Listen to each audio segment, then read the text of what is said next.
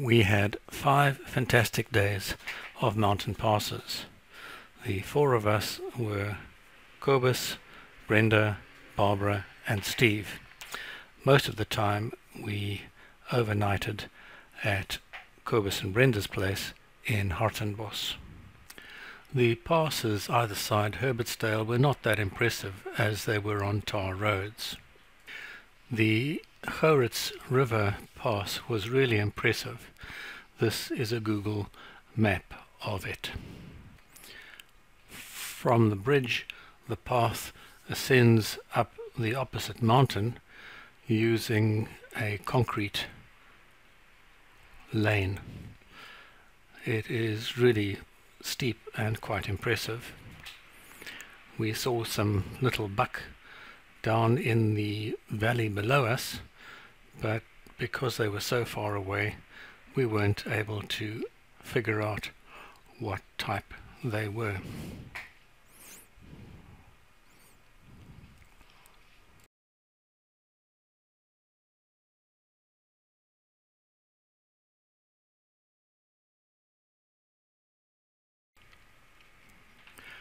After Van Wyksdorp, we tackled the Rooiberg Pass, which was really extremely rocky and rather long.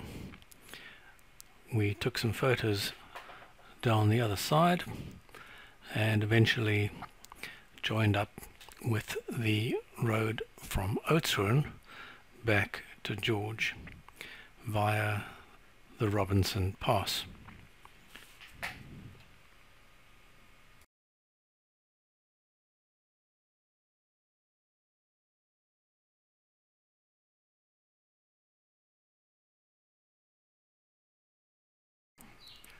On day two, we travelled to Die Hel, also known as Kloof, via the Outeniqua Pass, Oudtshoorn and the Swartberg Pass.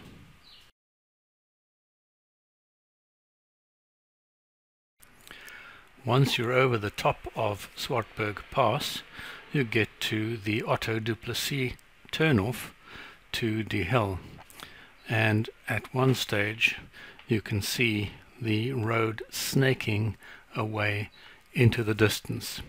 It's approximately 40 kilometers long.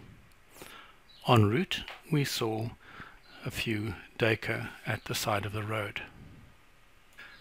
The most memorable part of the day is traversing the Elandspad Pass, which is extremely steep and said to be the second highest in South Africa.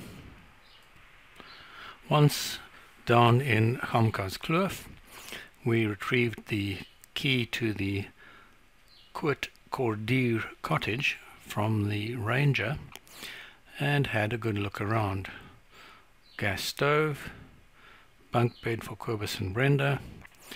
Barbara and I were allowed to stay in the double bed and the potty was made use of. These are the ladies waiting for supper.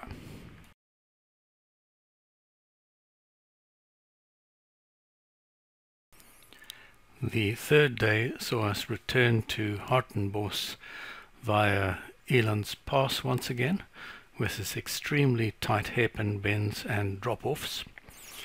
At the top of the pass we once again got to the middle of Swartberg Pass and descended through some extremely impressive rock formations to Prince Albert.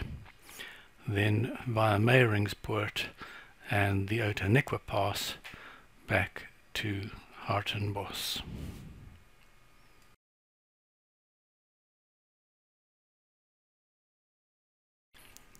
On the fourth day, we headed for Uniondale via Montagu Pass.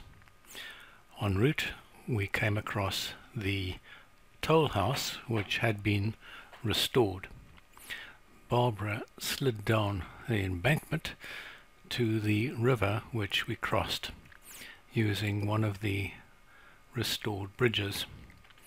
The pass has some dry walls, just as Bain usually did. And we eventually got to Uniondale, had lunch, and traversed the Uniondale Poort, connecting up with the little town of Avontuur and down Prince Albert's Pass. This is the longest pass in the country at around 60 kilometers in length. The last section of the pass goes across hill after hill after hill and then terminates through some lovely indigenous forest. We stopped over in Knysna and had some lunch.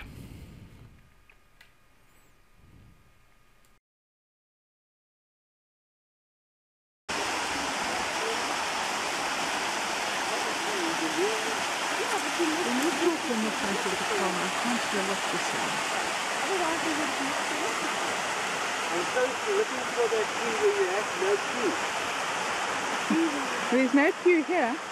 There's no.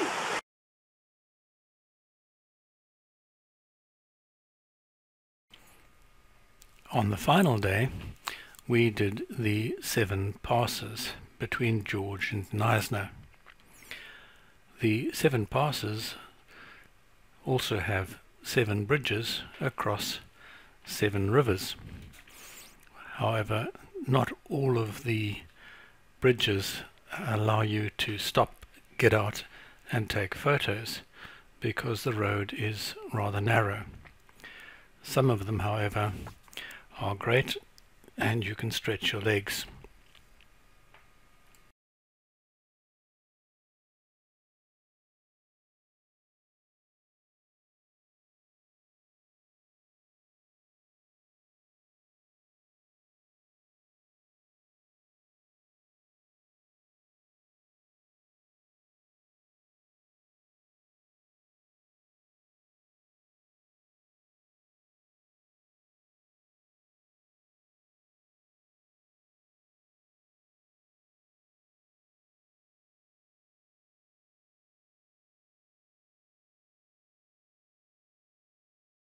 This is the map of Africa with the point nearest to you being Cape Town. The next impressive sight was a massive yellowwood tree in the forest.